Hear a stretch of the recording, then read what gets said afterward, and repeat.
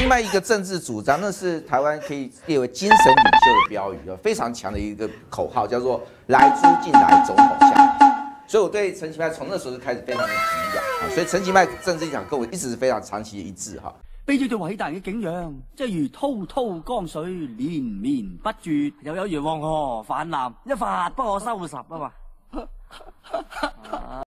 我去过八大电视台，但我没去过八大行业。那你比好谢欣你不然后我是，念传播学系的，但是呢，我没有 不认识传播妹 没妹。有认识传播妹。好，这整个歪楼了哈。那后续他还讲了一句话，他说他已经差不多一百四十几天只跟妻子吃过两次饭，他妻子一直在抱怨为什么没有时间跟他一起吃饭。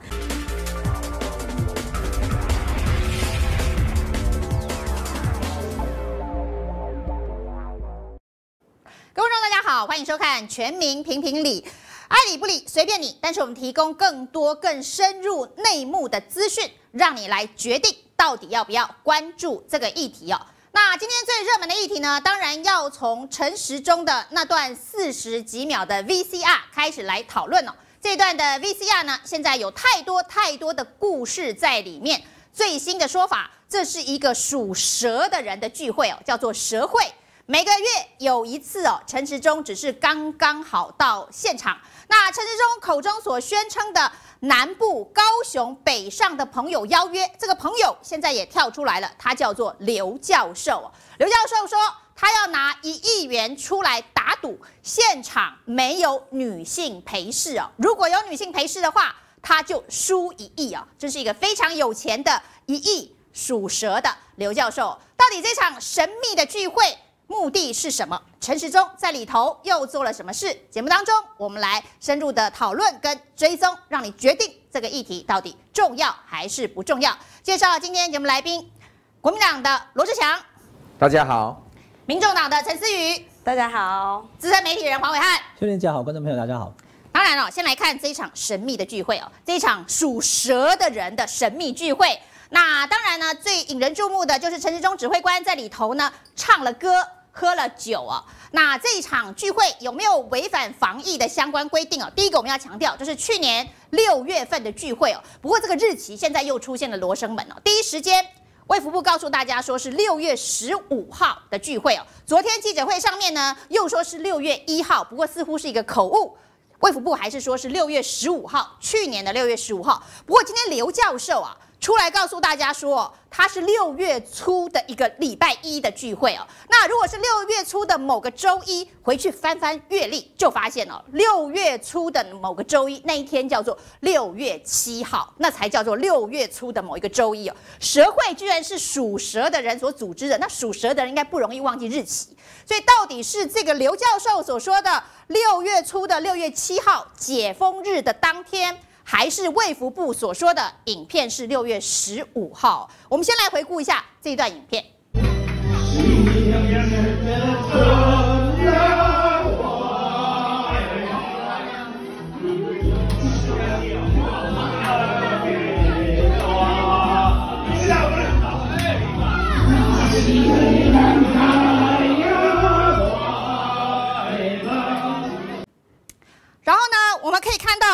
影片当中哦，其实有几个关键人物哦，大家很好奇，这个大家认识哦，就是这个正威的董事长郭台强。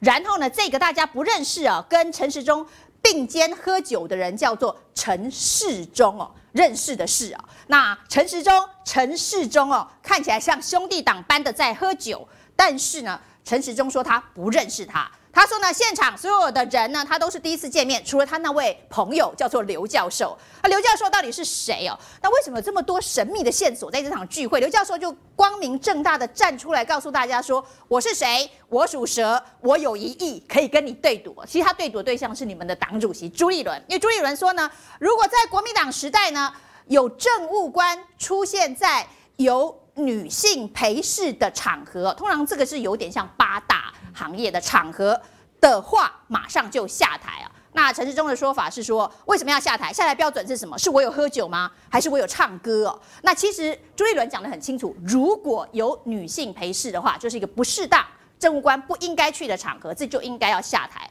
那一亿已经对赌了，朱立伦会接招吗？第一个哈，我想就在转移焦点嘛，因为是这整整件事的本质哈。我看到这个画面，其实我是蛮开心的，我很肯定陈时中啊。你感觉这个场面很欢乐吗？没有，我觉得陈时中这样做是对的、我觉得大家为什么要骂他，我也不懂，对不对？陈时中，你看最后被揭露是是平潭招商局的副局长，哇，不得了！中共同路人我方阵营又再度的壮大，你知道吗？我们现在我方阵营的猛将如云呐、对不对？不要讲说黄伟汉是中共同路人，对不对？我罗志强是中共同路人，哇，我们柯文哲也中共同路人啦、我们一堆红心拔啦，跟什么那个槟榔组啊，对不对？那现在再加一个我们的陈时中，哎，中共同路人啊！我讲我讲一个白讲白了，这张照片换一换，换个柯文哲，好不好？换个柯文哲，请思雨评论一下，换个柯文哲嘛，要换个罗志强，再换个朱立伦，对不对？你呃，请问会放过我们平潭招商局的副局长，然后这个是柯文哲，平潭招商局副长这个柯文哲，他会怎么讲嘛？所以我讲陈时中这个局哈，基本上是很很欢乐啦，那也是中共同路人的大胜利嘛，就可见我们今天到底是川岛芳子还是汤唯，对不对？呃，渗透成功是吗？是意思吗？所以不要转移焦点。第一个，我们就讲说，那照民进党的标准，我不照别人的标准，就这张照片给我换成柯文哲，换成朱立伦就好。来看看民进党要怎么骂这张照片就好啦。所以不要拿我们的标准，我们没有标准。就像今天陈其迈好棒棒的标准，对不对？陈其迈，我昨天才在又在打一下陈其迈，因为台中市议会现在炸锅了，因为有台中发生一个悲剧嘛，我们这大学生，我们觉得是要为他祈福哈。可是他现在就是有一个重伤的大学生，就彰化的一个二少到台中来打人，就现在台中市议会议员要卢秀燕下台，那我就说卢秀燕真的该下台，因为什么？因为陈其迈就有肩膀啊，他四十六条陈忠诚大火的人命发生，他第一天就请辞下台，结果马上被网友跟着，没有他也没下台哎，。你在做梦吗你？对，我就讲说，今天说实在话，台湾所有的是非标准，哪是我们国民党有能力去定的啊、这张照片，我们第一个讲到，先我已经讲完这个陈小珍，对不对？哈，旁边那一位陈世忠，对不对？哎，他今天所之前所涉及的弊案，都是跟卫福部、跟医疗有关的一些所有的一些医疗器材采购的弊案，对对对，那我要跟大家讲，那今诈领天健保费，不是今天你今天一个政务官，而且你是业管的政务官，那你去这参会，难道你不先要先叫人家先把名单调给你看的吗？你不是要先了解一下吗？一样同样的问题啊。今天卫福部长是柯文哲在这个地方，旁边一个陈世忠在那里，你民进党不杀死他，对不对？捅他三百三百七十八刀都不止吧，对不对？要把他放到那个丹炉里面去，这个烧个七七四十九天。我在耶稣七七四十九天烧他七七四十九天，所以我要讲说，今天这个这一场的这个本质，你今天朱立文说，如果如果就假设性语气嘛，也确实啊。如果说今天我不知道啦，这个是不是算是所谓的有女陪侍的八大的一个场合，我不知道啊。可是我要讲说，如果是的话，一样确实啊，你就是三条死罪嘛。第一个中共同路人，第二个说跟那个贪污犯呃，对，跟涉嫌了哈，然后跟第三个跟所谓的那个那个有女陪侍，那三个是不是红、黄跟黑全部沾了？那你不死三千四百五十七遍，我也服了你这国民党的官嘛，对不对？所以今天拿什么标准？不是国民党的标准，拜托，就是你今天民进党的标准。最后我还是要讲一件事情啊，我告诉大家，我从头到尾不相信陈时中啦。这件事我从头到尾不相信陈时中说谎，他就是一个经常切香肠的人。他的说法哪一次有对过拢？他每次第一时间没遇到每一件事都出来说谎，第一时间就说谎，说完谎被抓到以后，他再改说法。我现在不是说这件事他说谎，而是他过去的说谎记录多到我已经我脑袋负荷不了，记不住。好，待会可以请其他来宾去分析。他已经每他可以到昨天说、跟今天说、跟明天说，可以连三天说法都不一样的超级谎言家。这整件事情，陈时中赌一件事啊，我讲六月十五号，你有本事给我找出正确日期，你找不出正确日期，你就闭嘴。六月十五号就是一个他想要讲的日期，是真的日期，假的日期，你不知道你就没办法。然后呢，至于里面，因为只照到看到这一角的人，其他人是谁，你也永远不知道。到现在连地点，说真的也不公布啊，你就跟我讲说私塾哪个私塾啊？你跟我讲啊，地点啊，你给我把地点告诉我啊，让大家记者去拍现场嘛，你就知道那里到底是不是八大嘛，还是私人招待所，还是就是一个餐厅的包厢？我怎么看得出来是什么东西？那所以因此，今天陈时中他讲的这些东西，我跟大家讲，哎呀，听听就好。他都讲很负责任的人，他全台湾最负责的是他啦。三一一他要负责，负责原因是因为三一一呃三加十一是那个不是破口，所以他不用负责。不过这个陈时中现在包括了时间，包括了地点，都有不同的说法出现了，都变时间地点都搞不清楚，还有参加的人有哪些，这也是众说纷纭，好像这些都不需要交代清楚哦。这个说起地点呢、有人也质疑说这个场合符不符合防疫啊？因为六月七号，去年的六月七号是解封日，陈时中说是六月十五，所以呢不在三级警戒的时间内啊。那如果相信的话，那今天刘教授又有点戳破他的谎言，因为刘教授说的是六月初的某一个星期一。那如果社会的这个组织成员都认为是六月初的某个星期一，那就跟陈时中的六月十五号是都不在一起的。那讲起这个地点哦，陈时中昨天说不是大安区，不是中山区，那是一家餐厅，不是招待所哈。这个是在玩猜谜游戏吗？那你们台北市政府哦，对于防疫的严格程度，在去年的六月十五号，那现在到底人数多少也说不清楚，因为人数有人说十个人，刘教授又说呢，有十几个上市贵公司的老板都在现场，然后呢，再加上有郭台强，再加上有些属蛇的聚会，那显然是二三十个人。如果照刘教授的说法的话，那二三十个人在六月十五号，即便不是三级警戒防疫指挥中心，其实也有防疫新生活的指引。那防疫新生活的指引告诉大家是八人以内共餐，这随便就十几二十人哦。那有没有违反防疫规定？你们台北市政府不用了解一下吗？我想这部分就像刚刚志强哥讲的，就是陈世忠部长他讲话真的一直都不拢，包含三加十一，大家记忆犹新的，就是先从说这个会他没有参加，是陈宗彦。参加，后来又变成说，哦，这个陈宗彦原来那一天也不知道，后边又变成说没有会议记录，所以这说法反反复复。但我想，最终我们回头去看，到底还原时空，那个时候陈时中在做什么？像秀玲姐讲，那个时候其实是防疫新生活。如果大家还有印象，六月的时候，其实去年六月，陈时中部长是到处去各个县市帮忙做防疫新生活的这个活动的宣传，包含去垦丁大街穿花衬衫啊，或者是去彰化、去嘉义做活动的宣传，甚至是我还记得在去年六月月九号的时候，他接受了一个媒体访问，那里面问到说，因为那时候他的民调非常高，大家在问他说是不是要参选台北市长，那后续他还讲了一句话，他说他已经差不多一百四十几天。只跟妻子吃过两次饭，他妻子一直在抱怨为什么没有时间跟他一起吃饭。结果没想到，如果以六月九号推算，不管现在时间是六月一号、六月七号或六月十五号，陈时中部长。只跟妻子吃两次饭，可是却被爆出他去参加了这样的饭局，而且还有可能是违反到这个防疫的状况。那我觉得这件事情其实是让大家还原时空去想，其实那个时候民调这么高的陈时中部长，然后又说因为很忙，心力很劳累，没有跟妻子吃饭，可是却出现在这样的场合。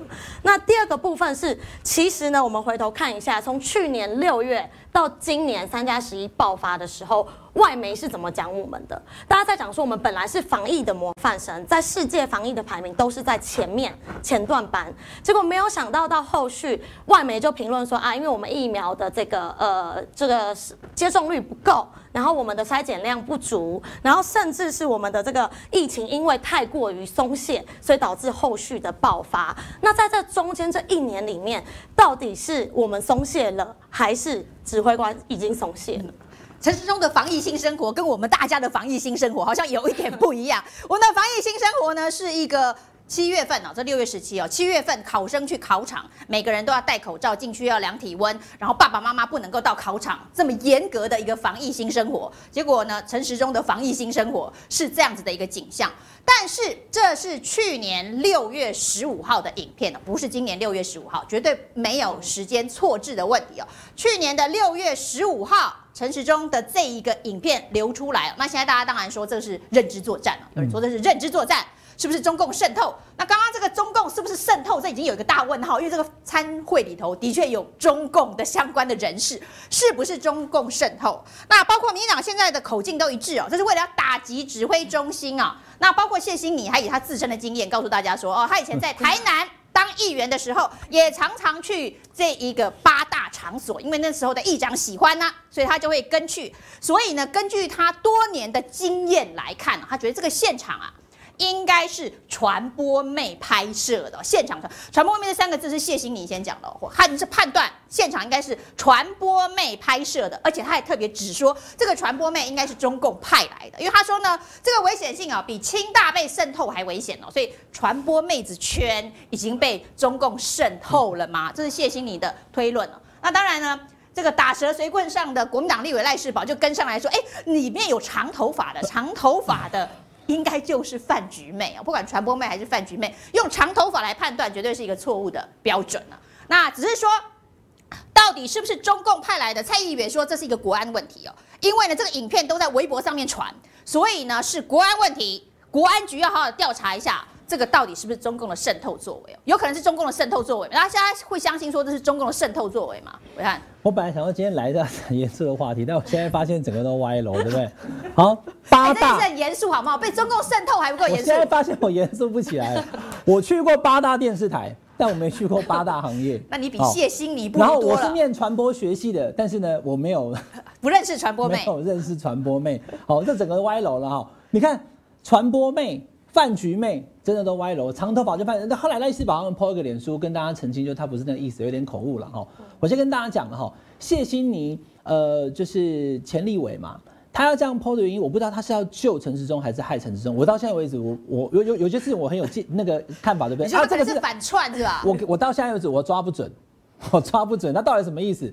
现场如果有传播妹是中共派来的，那陈忠还跟他高歌饮酒或搭啦。那陈松就是刚刚强哥讲，中共同路人没有错啦，是被设局。我告诉你，陈时中，来来，陈时中部长，你要注意哦，哈，你现在正一步一步走上清德的后路，大家记得吗？我的好朋友清德啊，不是不爱文灿，是更爱清德。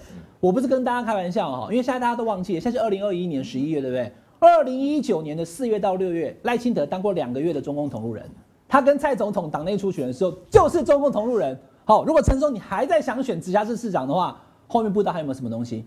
已经在暗示你了，你怎么可以跟传播妹、跟中共派来的传播妹呢？对不对？然后他现在跑，有一个人跑去平谈了，对不对？我跟大家讲，这都不是我今天想要讲的重点，因为我觉得太歪楼了。来，导播，我们把它倒回前一张，好不好？哦，好啊。陈思东怎么讲？哦，其实是秀玲姐帮我划了，对，是我，好不好？习惯直接叫我就可以了，好吗？谢谢谢谢谢谢秀玲是我。陈世忠哈。跟陈时中只有一字之差，不是兄弟，你要澄清，不是兄弟。对，但是问题是，他说他不认识他，我觉得很一个一个卫福部部长不认识，然后不认识你还在饭局当中，那你至少开始吃饭之前，他也第一个名片告诉你，我是个医师，你是卫福部长嘛？你说不认识，怪。第二个，他跟郭台强也干了一杯酒，可他说他都不认识，他只认识大家来的刘姓。对他只认识刘教授，他整个饭局二十几个人只认识刘教授。各位评评理的那个网友就讲说，我跟大家讲，我今天来参加的节目，可是我跟你讲。都不认识，这好像是平秀玲吗？不认识，不认识。哎，罗志强啊，有看过？不认识。你会觉得我真笑呀？不认识，你在现场嗨成那样，还喝成那样，你说你不认识？而且这种饭局，其实基本上都已经把门关起来，看起来它是一个小包厢，不是那种餐厅办席，一个大的像圆山饭店五十桌那种，对不对？那种状况，你今天政治人物也好，民意代表也好，特别是民意代表，你跑通到了以后，认识那个主客，其他的主桌人不认识，我有可能。可是你都已经在那个。封闭式的，而且他说是小蛇会，对不对？嗯，小蛇其实有人大讲讲小龙啊，那王金平就有一个小小龙会，就是小蛇会，其实是蛇会，但是不要讲蛇，所以讲小龙，对不对？我觉得有人讲蛇会。我先跟大家讲哈，这个黄组长眉毛。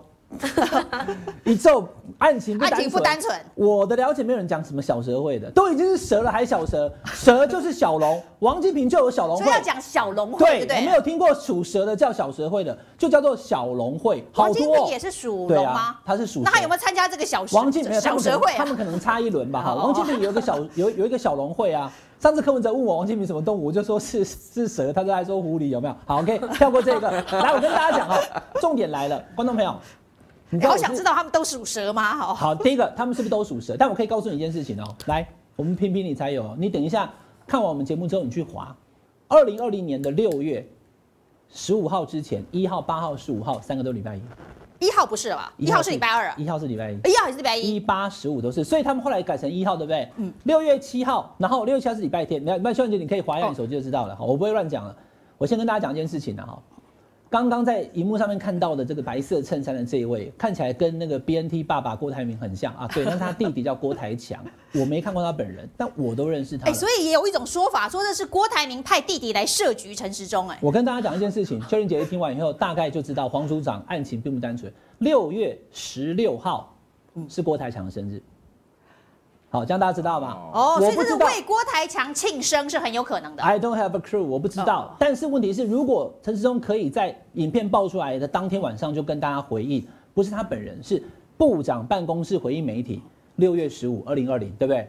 那因为六月十六是郭台强的生日，他会不会是生日当天跟家人吃饭，生日前一天小龙会、挂号蛇会来个例行的礼拜一的六月的聚餐，然后呢，陈世忠也跟着来。那你讲到一副就是云淡风轻，我根本不知道这什么状况来了，就有点怪了。如果是呃某董事长的生日宴什么，如果你还记得的话，是不是呢？都没有回答。然后你现场至少认识三个人：教授、陈医师、郭董事长。我到现在为止都没有再跟你讲什么传播妹的事情，因为那个事情其实基本上我在乎的是，因为人都会有很多的饭局，去饭局没有问题。我们今天录影，来导播帮忙拍一下哦，摄影大哥，你看我们还是有用隔板啊，对不对？我我们还是按照指引在走嘛。然后前一阵子有隔板还要戴口罩哦，就是按照这样子走嘛。那你今天当卫福部的部长，你可以去饭局，现场就算真的有所谓其他人的带来的友人，女生头发有的长有的短，OK，那跟你无关也可以。但重点是你按照你的防疫的事情去走就好了。我再跟大家讲，因为我时间控，对不对？第一个六月十六是郭台强的生日，对不对？那六月十五是他一开始讲的日期，搞到六月一号，现在要调回来六月十五。我跟大家说，你上网去查，二零二零六月十五有个新闻，叫做大考中心宣布，今年的所有职考学生必须戴口罩才能考试，谁敢把口罩拿下来，取消应考资格。所有几万个家长、几万个学生要应考哦，然后更多的家长都在想说，哈，因为疫情的关系，我们的小孩会不会很闷呐、考试怎么办呐、就六月十五，二零二零，去年那一天，大考中心跟你讲说，因为指挥中心叫我们一定都要戴口罩，大家还在担心你的小孩考试的时候会不会有，因为有些小朋友过敏啊、鼻塞什么吸不到气啊，还担心他有些考场没冷气，对，所以其实就是，然后窗户都要打开，有冷气也要开窗户，因为怕疫情的关系，大家都还在担心疫情。我再讲一次，二零二零年六月十五没有二零二一年的六月十五严重，因为二零二一年的五月中以后进入三级警戒。对，可是你不要告诉我，六去年六月是云淡风轻，什么都不用管啊，还是要戴口罩，还是有室内一点五、室外一公尺的安全距离。那你看，光是这张照片，他跟这位陈医师两个人有一点五公尺的距离吗？哎、他说他认为有社交啊，距离，怎么会？有呢？大家不是问说你有违反社交距离一公尺吗，那我就是我眼睛越觉得应该有啊啊。。那我现在基本上我就把这个隔板拿掉就好了。为什么？因为我觉得我跟陈思宇两个人的距离大概有一个太平洋啊。空间迷向。哦，空间迷向不可能嘛哦空间迷向不是还有。性时空哎，你的新生活跟我的新生活不一样，你的一公尺跟我的一公尺也不一样这。位陈世忠医师是递酒给他的人，酒一来，他看着上面的卡拉 OK 的那个，哎，还看字幕，这不是你的招牌歌吗？怎么还要看字幕？他连酒是给他的是什么他不知道，说明是辣椒水，对不对？看都没看，来了以后就给他吼大了，对不对？但你说你跟他不熟，你说你们两个距离有一点五，这些才是我关注的点啊。因为我刚刚跟大家讲传播跟八大我不熟，我不知道该怎么讲。但是我在乎的是这些规矩，我并没有说这个规矩已经违反到什么，哎呀，已经是这个无法这个原谅啊，必须下台。我没有我没有讲到这种程度。可是你要告诉我你完全符合规定，这我觉得不太能接受就。你完全符合规定这几个字，应该是睁眼说瞎话。好，那问题是，兄弟，我补一句，问题是昨天的记者会，我们今天录影是礼拜五早上了，今天下午可能大家还在追问这几个问题。哎，你真的只认识一个人吗？昨天也就是礼拜四下午两点的记者会，陈松部长坐在这边，跟大家一个人哈，就是一夫当关，万夫莫敌。所有媒体来问问题，然后呢都我自己回答，有没有违反规定？没有，有 O 不 OK？OK，都你自己讲了算了。这个要不要调查？不用。不用，对，他说不用调查，而且还有人讲说，再传这个东西的话，就要叫法制组去处理。哎、这是你个人影片呢，你叫指挥中心法制组去处理，是应该对疫情的讯息有误的，那才叫法制组啊。我的意思就是，陈时中部长现在在卫福部的地位位高权重，好不好，对不对，有没有违反规定，都你一个人做决定，没有人敢挑战你，这才是这个指挥中心最大的问题。我讲的不是喝酒哦。我讲的不是唱歌，而是一旦我们对于疫情的数字、疫苗等等等等政策，当你有什么意见的时候，显然指挥中心没有人敢挑战你嘛。你说怎么样就怎么样，就算最后错了，就算我说这个是个副指挥官，你看陈忠文其实也没有什么、哦，他被讲说是那个三加十一的开会的人之后，他自己也没敢讲什么他。不敢喊扣是。后来对，是后来陈忠讲说啊，我记错了啊，我记错，不然怎么样？哎，不是自己讲记错，是被人家对发现，被记者发现。对，不是这样所以。你有没有看到，其实哎，陈忠部长在指挥中心当中的那个位高权重到，已经是国王心意的状态了。明明没穿衣服，蔡峰说好漂亮，他也飘飘然。这对我们整个防疫的团队来讲，我觉得不是好事，已经变成是一言堂了。他一个人说了算，有没有违反防疫规定？他说没有，其他没有专家敢告诉你，明明就是不到一点五公尺啊。那个时候六月七号之后的新指引呢，我也看得很清楚，餐厅是需要有隔板的，但是如果说一般的餐厅八个人一桌，对不对？如果是非特定人士，好，就说呃，就是非特定人士我不认识，你就要隔板。哎，但是我他他所有人都不认识啊，不是他，所以说没有重点来了嘛，秀玲姐，我本来也以为说他那个状况跟我们的指引不同啊，指引的意思说，比如说我去吃个萝卜崩，我看到隔壁右边的我都不认识，对不对？所以要有隔板，因为我们不认识，我们不要接触。但是如果是非特定人士，哈，就是呃呃，对不起，非特定人士要有隔板，特定人士一家人八个人的话，坐宽一点可以在一起吃饭。去年是这样指引哦，那他都认识，我就没有去纠结隔板。结果他跟我讲他都不认识，那照理讲他应该要当场戴起口罩，放起隔板。然后这样才是符合这个指引，听起来很古摸啦。要说去年六月没有那么严，对我没有要求到那么严，可是这也太不严了吧？那这么不严，你也可以跟大家致歉说好，我要注意。没有，他说我完全违反，呃，没有违反规定。这个一言堂，我觉得才是整个指挥中心哈最严重的事情。他最后做结论，这个消息出来，对他的市长选情跟参选可能性，好大大的影响。蔡总统还会不会征召他去选某个这家市长？看起来要打一个问号。对哦，那就是说呢，他说他都不认识现场，可能他可以说，因为现场人都认识我，所以我们算是都认识哈。那不过呢，刚刚伟汉点到了一个重点哦，就是说陈世忠自己也说，这是去年我们在强调，这是去年的影片。那去年有人拍了这个影片。照刘教授，照谢欣怡的说法是传播妹拍的啦。照刘教授的说法是现场的女性宾客拍的。我也不知道为什么要强调女性。他说呢是现场的一位女性宾客拍的。好，那去年拍的影片为什么在今年的十一月才流出来？那包括了陈时中之前呢，王必胜也出事了。那王必胜也出事，陈时中也出事，而且影片还用去年的影片。陈时中说他觉得哦有政治斗争的感觉，觉得很诡异。但是他没有证据。那这个所谓的政治斗争，现在有人说，民进党呢内部现在最重要要竞争的职务，就是二零二二年的六都市长的提名，本来是初选的，现在呢蔡英文决定要全部收回来，用征召的。很多人说这是为了帮陈时中量身定做嘛？因为初选的话，陈时中第一个能不能去初选这个问题，第二个初用初选的方式能不能赢是另外一个问题。所以呢，陈时中应该隐约有感觉，有人不想让他被征召，所以呢，这是民进党内斗所造成的结果嘛？所以大家变成是一个看笑话，看我们自己的指挥中心发生这样的事情，那原因背后居然是民进党的内斗，这个可能性高吗？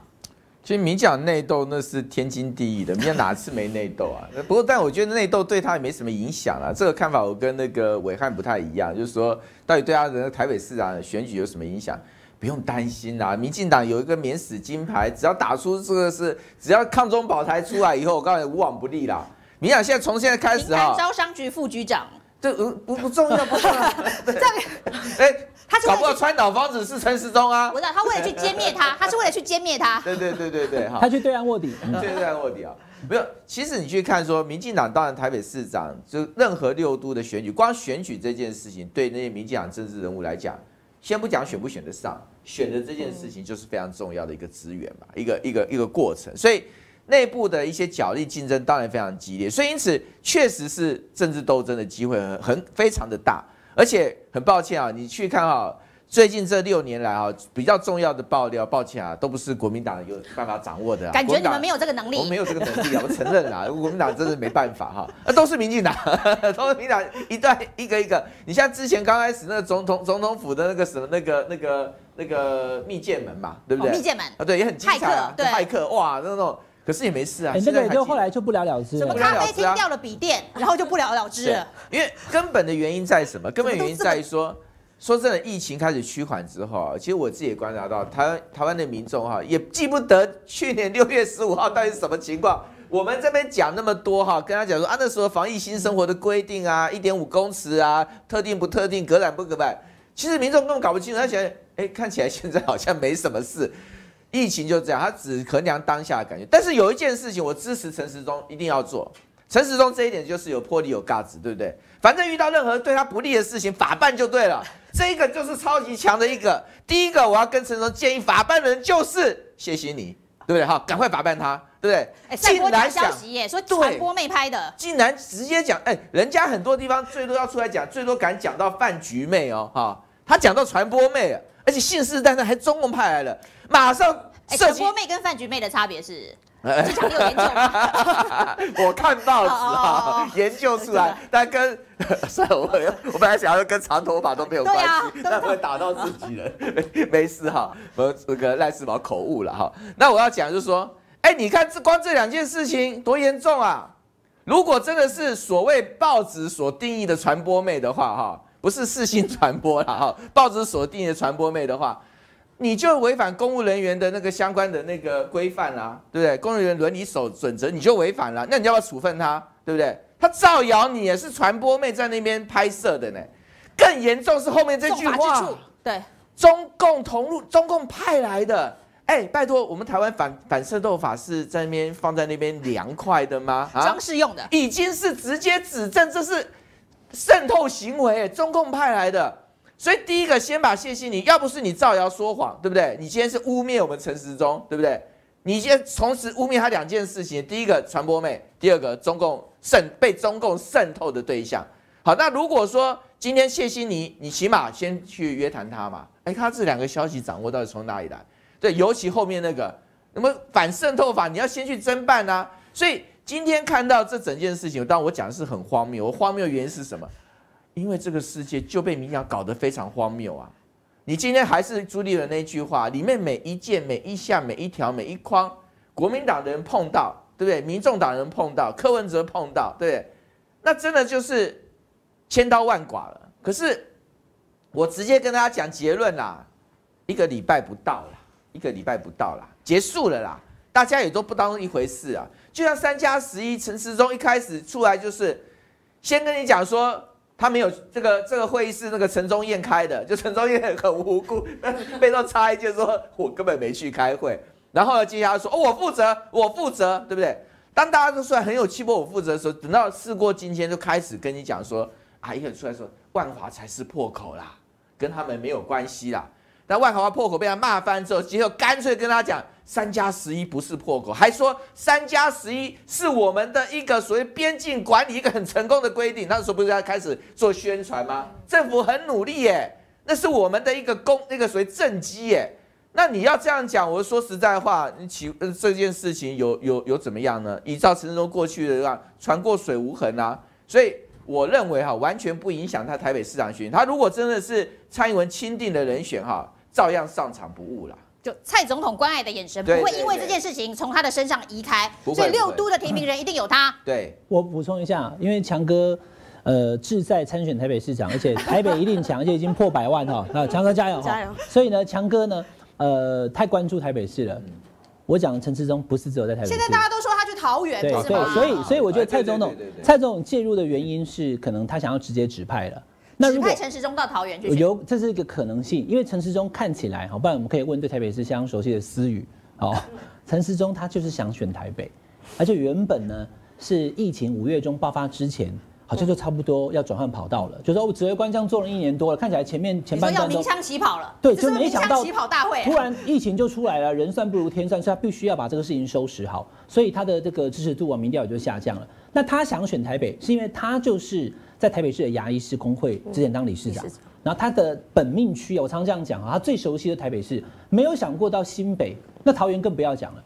但是如果在整个布局当中，新北侯友谊不好打，桃园郑文灿接班人不能输的情况之下，蔡总统他想要自己调，就说我今天要找最有。那如果说这个人看起来算是强棒，对台北来讲跟对台湾来讲，或许陈志忠在桃园还更强。大家懂我意思吗？因为台北市的选民，每一个地方的选民，他的看法不同。台北市的选民对于疫情跟疫苗一开始没有买足数的事情，可能更介意。好，那现在台北市的市长是柯文哲，但桃园是郑文灿。好，所以郑文灿的智者可以无缝接轨地转移给陈志忠或者是郑运鹏。好，这个话题我们以后可能会再谈。我只跟大家讲说，现在讲到伤到他参选直辖市长的那个资格跟可能性，不是单纯只讲台北、台北、新北、桃园，我都一起讲。都有。那你意思说这些可能性都大大的因为？因为显然有人觉得说蔡总统不知道指派他去选哪一个地方，但为什么要他呢？好，所以这个是，所以这个是去年六月的影片，一年半前的，现在却突然出来。照理讲，去年六月十五拍完以后，去年六月十六郭台铭生日那一天就可以拖抛到脸书了，对不对？啊哈哈，昨天啊，好开心的哦，对不对？为什么没抛？为什么没抛？那至于拍的人是谁，说实在，真的也不用太去，谁都可能拍啊。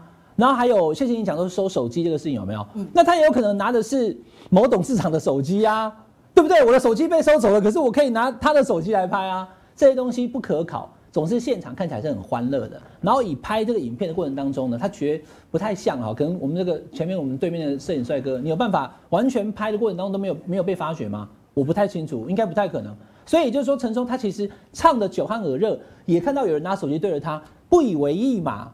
那这种场合怎么会是不熟的场合？没有戒心到这种状况，一定是很熟、很嗨、很投入的场合比较合理。不过，我想陈志忠心里头一定是在想，说这是有人想要逗他嘛，才会把去年的这个影片，今年把它流出来。那对于民进党来讲，现在最重要的二零二二的提名权是被蔡英文主席给收了回去这件事情，党内当然反弹也很多，因为很多跃跃欲试要参加初选的人现在没有初选了，要直接的征召，而且大家都觉得他的机会很大，可能挡了很多人，叫做党人财路，不是财路啊，党人被提名之路，所以呢下手这么重。那如果是民进党的政治斗争的话，那这个幕后藏镜人他成功了吗？思雨。我我记得我这几天还听到一个消息说，好像这一个饭局是一个高雄的先生去邀请陈时中部长刘教授啊，对对刘教授已经跳出来了，他已经跳出来，身价一亿以上的刘教授。对，然后我又听到了苏院长在昨天十一月十一的时候有出来讲说，哎，这个手法非常恶劣，因为他造假了时间。那大家如果回想一下，其实苏院长在之前因为有影片造假，他好像是摔笔嘛，说他在做公祭的时候的一些过程，他最会查的就是假新闻，因为他那个时候大概一个礼拜不到，这个人就抓到。那既然现在发生这么重要，甚至是有国安事情，有这个中共派来的状况，那苏院长要不要也动用他的执行力跟他的效力，去把这整件事情查清楚嘛？那查清楚就没事啦，那也不会有有陈时中部长讲的是有内斗或是有政治斗争。我觉得这一并也可以把它摊开来讲清楚，就查清楚，还给陈时中一个公道。对，这个现场到底有没有什么中共同路人呐？到底有没有什么这个长发妹啊？到底有没有什么不可告人违反？公务员、政务官应该出入相关场所的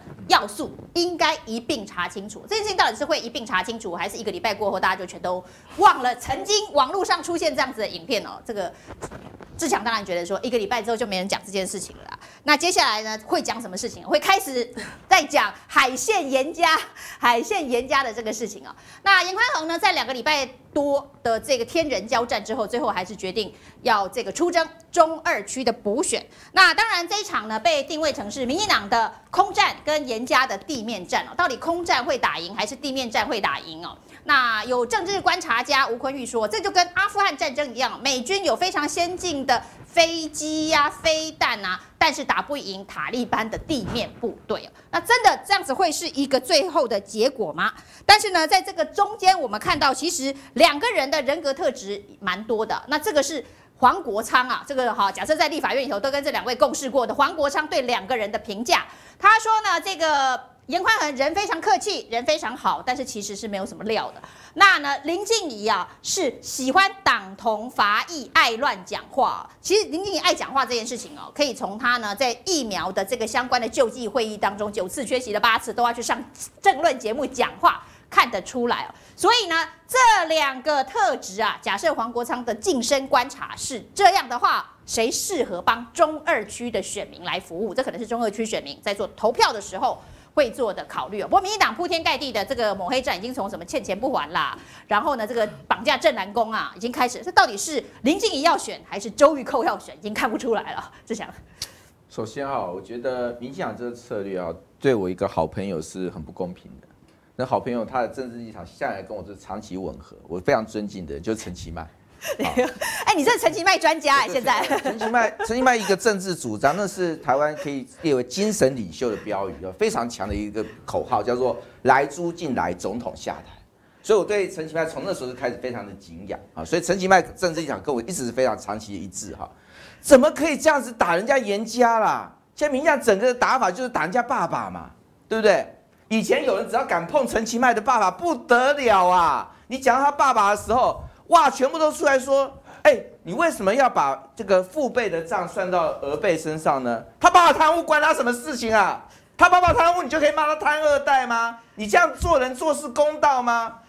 不是吗？以前他在选高雄市长，你只要敢碰到他爸爸的话，网军开哎，始修理你、啊。我觉得陈其迈的回力标怎么这么多等一下，啊？强哥你多啦、你我今天发现你跟陈其迈理念相通，对不对？对对对对哦，那这个图是你做的吗？对，我发现后面那个人是陈其迈，哎，哦，哎、真的。对啊，对，哎呀，对，不好意思，被抓到了。我担任陈其迈侧翼。秀玲姐已经，秀玲姐已经知道了，好不好？陈其迈你要隐藏看得出来强的地方就有陈其迈。对啊，这样都看得出陈其迈。对啊哇，超强超强。哎所以秀秀玲姐，你你跟我是梗已经埋得很深，就在这里。埋好深了，对对不对？我我就要讲嘛，其实这一场仗，我说实在话，他派林静怡出来，其实民进党的路线很清楚了。民进党已经是决定西瓜、冬瓜、南瓜、北瓜哈，什么瓜都无所谓，只要是个瓜就可以放在那边。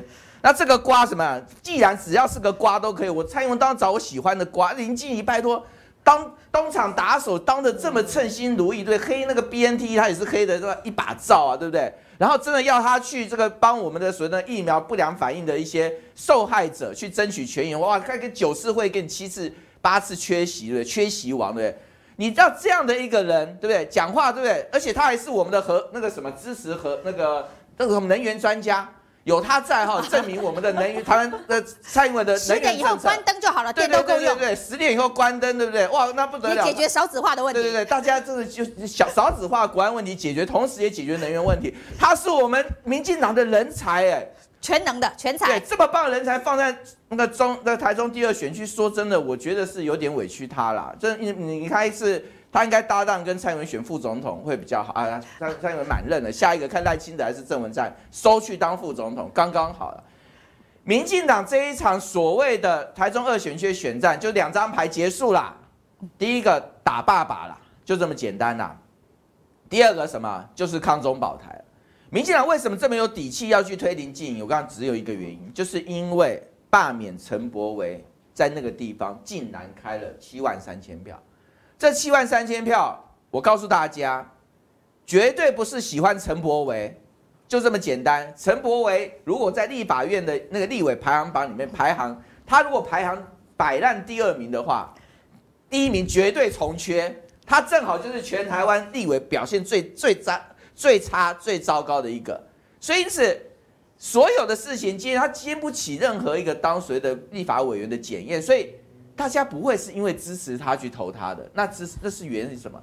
因为整个当时罢免战，只民讲只有一个主调嘛，抗中保台啊，所有中共同的东西。那抗中保台里面的先锋大队就是林静怡啊，林静怡就抗中保台的抗中保台队啊。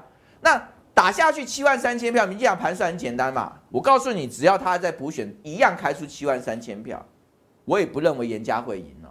为什么？因为补选本来投票率就比较低，所以如果这边的支持严严宽恒的票、严家的票没有出来，而你的抗中保台票集结起来，民进党冲出百分之二十五就好了。对，那我告诉你，那这场选战是不一样。所以因此，民进党这一次从罢免战开始，到这次的补选战，甚至包括我们讲公投战，你也发现民进党已经是穷到只剩抗中保台了。他已经没有任何东西可以讲了。他今天遇到任何人，就是先跟你一个抗中保台的那个紧箍咒开始念念念，然后所有人头就开始紧，然后就开始变成 zombie，好，就开始跟着民进党这样开始走。他现在就是在玩玩这个东西嘛，所以只是回头就问我们的台湾的民众，我我看这件事是很豁达的，为什么？就关键在台湾民众，你真的能够抵抗那个铃声吗？啊，这铃声摇了，你有没有抵抗力？如果你没有抵抗力，僵尸片的僵尸对对对，对对对，就是我们是那个东方的僵尸片才有这个了，好，西方的没有，西方就是开始乱摇了哈。那我跟大家讲，那抱歉，如果说这样能赢哈，公投他们也靠这个啦，二零二二也是靠这个啦，二零二四也靠这个，二零二六也靠这个，二零二八也靠这个啊，永生永世三百年就是抗中保台打到底啊，台湾人民要吗？所以台湾的每一场选举都变成这个失速列车啊、失战朝鲜啊这种概念在选就对了。不过林静怡是说，在立法院里的表现，他觉得他有信心啊，绝对有信心，比严宽恒当年在立法院表现好。那其实林静怡当时在立法院是不分区立委，他是一届的不分区立委，但他在立法院里头所以推动的法案哦，整个一届大反弹，因为为呢，在劳基法修二的时候，他被批为财团发生血汗医护，对他非常不满，还给他取了个绰号叫做林静英哦。林静怡对于针对劳工的任何权益，通通不敢出声哦，叫做林静英哦。在修劳基法的时候，那另外呢，我们可以看到能源政策他的这个荒谬的这个发言哦。那现在呢，他即便不当立委，他去疫苗会议哦，救济审核会议当中，居然。被选为委员都不开会请假王这件事情，所以他会认真的把他自己分内的事情做好吗？还是成为民进党的抗中保台大将，这唯一的工作会是这样吗？那人民会被这样子的一个路线的设定而影响吗？我不晓得啦。海线严家的这一局，如果说最后是由抗中保台来决定的话，也许台湾未来的选举都是这样子决定了。嗯，因为我觉得对林静怡医师，我真的很想帮他取一个绰号，叫做“金氏医师”，因为他有三个反，就是反制、反专业，然后还有操作反中这三件事情。为什么这样讲？因为我很常看到他上争论节目的影片，因为可能他上争论节目的机会也很多。那我这边有一个就是呃三例的影片，是之前。他去讲针对 BNT 的事情，民间要买 BNT 的事情，一帮台湾买疫苗的人，他坚持要买 BNT，嗯不论多困难，他都坚持要 BNT。你明明你明明这条路外面可以走，你可以说我来帮忙再谈一下辉瑞，哦，我我可以来谈一下莫德纳，我来帮忙再谈一下 AZ，为什么谈了半天都是 BNT？嗯，这是第一个我们要问的问题。对，那第二个为什么不愿意承认我们买 BNT 从头到尾就是中国在卡我们？嗯，之前讲过上海复兴这一批。为什么他们很急？嗯，因为快到期了，集齐品了。整个事情回到最后，我觉得啦，嗯，就是上海复兴有一批货底一直卖不掉。但他这中间过程呢，我觉得非常非常的夸张。是一开始他说什么？他说呃那个 BNT 是集齐品，可是我们回头看现在的 AZ 呢，上个礼拜到货的只要一个月就要到钱，那 AZ 不是吗？之前的 BNT 就是现在的 AZ 就不是嘛？那或者是说，接着再讲说这个呃。呃，这个明年我们呃陈世忠部长刚宣布说要买两千万剂的这个莫德纳跟 A Z，那甚至就有这个精神科医师潘先生就跳出来讲说，哎，为什么要买莫德纳跟 A Z？我们不是应该要多买一些 B N T 嘛？因为 B N T 它的时效呃是其实是比较长，它可以停留一百一十多天的一个效期。那为什么要现在才要才要呃就是去买 A Z 跟莫德纳呢？这件事情其实是是非常奇怪的。那又或者是林静又讲说啊，如果我们买一千万剂的话，我们台湾绝对。到货一千万剂绝对打不完，那事实现在证明是不是一个笑话？因为所有他讲的东西都跟事实全部都是不一样的。那后续呢？我觉得这有非常多的内容呢，这包含现在如果没有民间的力量的话，只靠政府或者是靠林静怡医师在。节目上专业反专业反制的过程的话，现在 B N T 的到货量已经到达八百六十万，我们自己买的 A Z 只有七百多万剂，所以我觉得在这整个过程中，不管林静怡医师是东厂是打手，他在所有给民众的资讯上面，全部都是三个反。反制、反专业跟反抗中操作，我觉得这件事情是非常可怕的。当然，他现在是用医生参选哦，就是以医疗专业来进入立法院。他上一次以医疗专业进入立法院的时候的表现，大家都看到了。那他以这个医疗专业呢，在疫苗会议当中的表现，大家也看到了。他以医疗专业在政论节目上面说黑 N B N T 是集齐品，有危险，这个大家也都看到了。那现在呢，民进党只能打这个抗中保台的牌，但是空战。就是这样子全面的轰炸，那空战的轰炸跟现在严家只能用地面部队的手势来比哦，谁会赢？伟汉，台湾政治分蓝绿白啊，但也不止蓝绿白，有很多人他其实是没有什么特别的政治意识形态，他就是说，哎，这个事情我觉得对就是对，不对就是不对，公投就是要对事不对人嘛。但你看公投的四大议题，其实林静怡是也都有表态，他最近已经不叫林静怡，也不叫林静怡了，他最近叫林默娘，因为有人讲说，哇，你看看静。是什么？就是安静，就是默啊，哈。那娘呢？对不对？就是娘娘，就是仪，母仪天下，哈。所以呢，林静怡就是林默娘了，哈。开妈祖玩笑，大扣分。挺他的人，哈，挺错，挺错方法，你会害到林静怡。林静怡基本上，他是一个党意优于专业的人啊。就说，其实我不觉得他没有专业。刚刚思雨在讲一些疫苗啊，B N T 四是有两种，网络上面风向打什么他都打。民进党到时候讲劳基法怎么修，他都他都听，他是贯彻党意。他是用专业来帮谣言背书。不是专业的部分，我觉得他有，可是他的过去这段表现没有看到太特殊的专业，但是看到他都是根据党的意志贯彻到底。党要我挺什么我就挺什么，要我修劳基法，我就修劳基法。劳工抗议我不管，医护怎么样，打电话来以后，那助理都去棒赛了，不行吗？好，就变大变立委。他就是这个讲话比较直，而且，但你要知道哦，私底下认识林静怡的人觉得说他人其实还蛮 nice 的。可是遇到了政治议题，刚刚思雨讲抗中哦，他对于这个意识形态他非常的坚定的。二零二零年他还是蔡英文总统的呃竞选总部发言人。他还被派去，他当国际部主任。你看，又是都都又是医师，又是国际部主任，接受德国之声的专访，讲说，任何在台湾支持两岸有可能应该同意的人，就是叛国啊！哦，那这已经违宪，他不知道。哦，这 宪法不是这样写的，但是他就很敢讲。所以我说争议其实并不少。那那个秀莲姐，好，今天不 Q 导播了，Q 秀莲姐，黄国昌那一张我们来一下。黄国昌前委员呢，哈，他看得很精确，可他没有看懂啊。他说。林静怡爱乱讲，严宽很没有料，好，但似乎从他的角度来讲是主观的看法嘛？我先问大家，一个民意代表应该是怎么样才叫好的民意代表？在立法院会修法，或是每一次都有签到记录，会开记者会，每天上政论节目，还是都没开记者会默默无闻？秀玲姐最清楚了，以前立法院两百二十五席立委那个时候，说实在的，即使是国会的记者也未必记得住全部的立委。可是呢，有一些人你一定会知道，因为什么？因为他天天会开记者会，甚至有重大议题，他是等于是。当年的 KOL 意见领袖捞鱼啊啊委员委员亲什么就那几个哦，这媒体宠儿政治金童。可是重点来了，那其他的委员在做什么？其他的委员有的他可能很会弄法案，可他没有上上上节目。然后严宽很黄黄国昌给他的评价是没有料。什么叫民意代表？倒回来变代表民意嘛？民众愿意让他代表民意，他就是好的民意代表啦。民意代表分很多种，我现在不是在夸严宽很哦，严教严家的问题，他在台中，你看。他的爸爸严清标，海线霸主、宗教霸主、政治霸主，从里长干到议员。叫你不要打爸爸了，你还打爸爸？没有了，我现在就是因为他们一定会打爸爸。奇迈在说你没有在听。但是奇奇迈在后面已经那个奇迈这个犹抱琵琶半遮面，千呼万唤始出来，再打爸爸，强哥就要去台中夜宿开讲了，对不对？好，重点在这里嘛。你今天爸爸跟儿子，我们现在这个年代哈，其实你说实在的，会不会有影响？会，但你能影响多少？没有那么多了。大家也知道啊，立体高工标格被冲啊。